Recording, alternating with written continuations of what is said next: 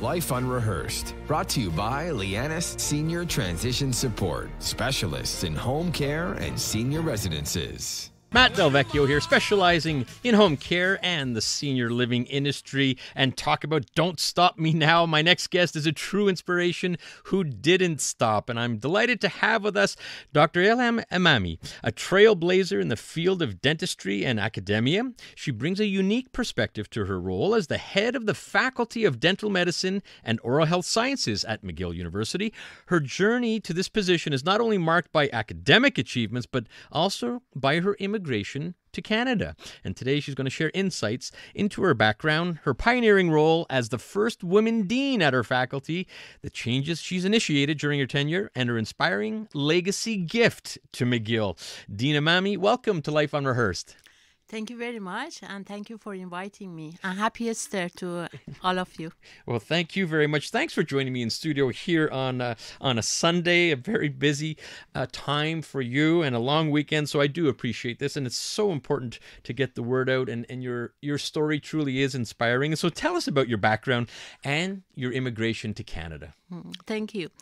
I'm a dentist, a Persian, and born and raised uh, in Tehran, Iran. I did uh, my primary and secondary school in a French Catholic school uh, in Iran, and this influenced me later to move to Montreal and enjoy the Francophonie at Montreal and the Quebec lifestyle. So I moved to Canada in 2002 and I started my journey as a new immigrant by being a student. So I went to Université Montréal to be trained as a specialist in prosthodontics, and also at the same time I did a master in uh, science. Uh, I did clinical research, and I uh, prepared and uh, passed my equivalency exam to be able to practice uh, in Canada. And at that time, I realized I really enjoy research. I really enjoy uh, academia. So I decided to uh, do a PhD in biomedical science, and this is where I was trained mainly at McGill.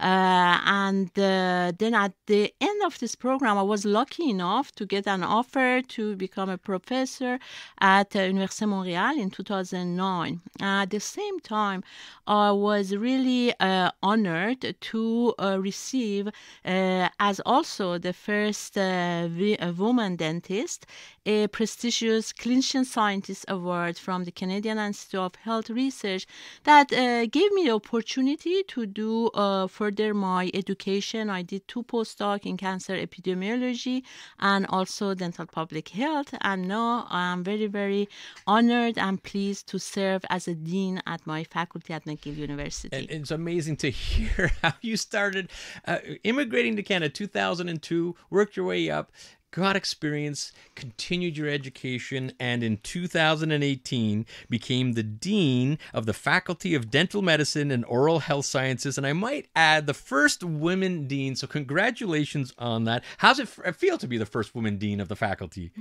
I feel really privileged and proud. In fact, women in leadership position could serve as role models for other women, younger generation, inspire them, and show that our performance and leadership capacities is not really gender dependent the driver of our uh, leadership is really our ambition, our hard work, and our good work. So you know, and as I'm listening to you, um, and I, as I was talking to you off air a couple months ago, we had Gina Cody on Life Unrehearsed, and her name is the Gina Cody School of Engineering and Computer Science at uh, Concordia. So good on you. Um, we need a lot more of that. And and here's uh, if we've got a little soapbox here to uh, get the word out, and uh, you are a true leader for that, and well deserved. And um, for our listeners, if you can give us an idea, and I'm you're listening to Life Unrehearsed, Matt Del Vecchio here, and I'm talking to Dr. Elham Emami, the Dean of the Faculty of Dental Medicine and Oral Health Sciences at McGill. And uh, Dr. Emami, you know, you've made a lot of changes in these five years, 2018, which I understand. Another congratulations are in order. It was renewed for another five years just last fall, I understand. So congratulations there. So what's what are some of the changes that you made during those past five years? Um, in fact, we started by uh, providing with our team leaders and in consultation with our faculty a five year strategic plan because we wanted to enhance our education and training, bring digital technology, change the curriculum that address the need of our population and not really elders population. So we wanted to uh, add to our existing uh, curriculum a geriatric uh, curriculum and then uh, also expand our community services. That is uh, in fact the flagship of our faculty. And wanted to promote research that has a real impact on the society uh, so first thing uh, that we did, uh, we thought that we have to change the name of the faculty that was previously dentistry because really dentists are going beyond their chair and wanted to show the impact of research uh, and the research that we are doing at McGill and at our faculty uh, to advance the society. And one of the aspects that I work a lot and I advocate for this is diversity, equity, and inclusion and we wanted really to raise awareness and to provide vehicles that can address disparity in different contexts so uh, we put in place uh, different uh, strategies such as uh, the admission uh, different admission pathways for indigenous black and recently rural and remote population. And also i'm very proud to say that we recruited for the first time uh, two tenure track faculty mm. outstanding researcher from black population and this is uh, quite unique in Fantastic. canada in faculty of dentistry uh, in the side of service to the community, uh, our uh, faculty has a very comprehensive program, and uh, in uh, we wanted just to expand it. And I'm very very excited to share the very good news that we will open our fully renovated and expanded community clinic in Welcome Hall Mission in May soon.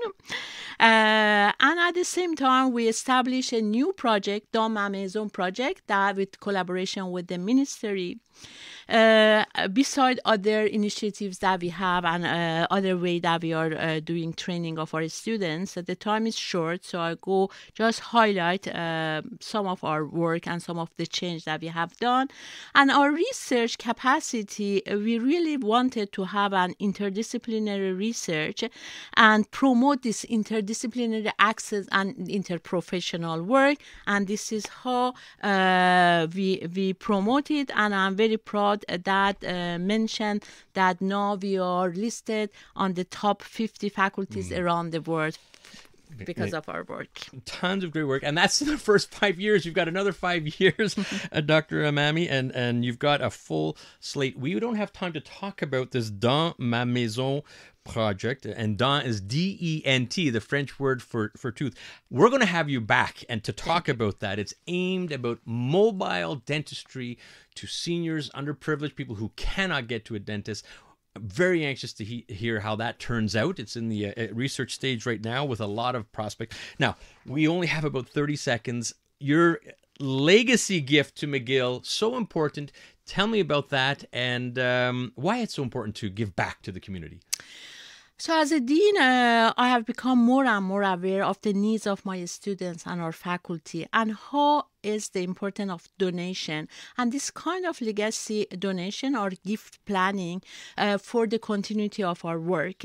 And i was inspired by uh, my father that uh, mm. i learned from him to be generous and keep my integrity and also previous dean of the faculty dr bentley.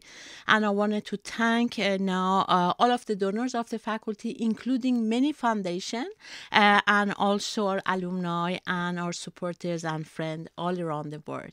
Well, Thank good, you. Good for you. And, you know, this is a trend. I'm also on the board of Nova West Island. There are more legacy gifts being given out there. It's very smart. It is so helpful for many organizations. And congratulations to you. It's a very noble gesture on your part. And good on Dad, too, for setting the, the pathway for you uh, Thank as you well. All right. Thank you, uh, Dean Emami, for coming on the show.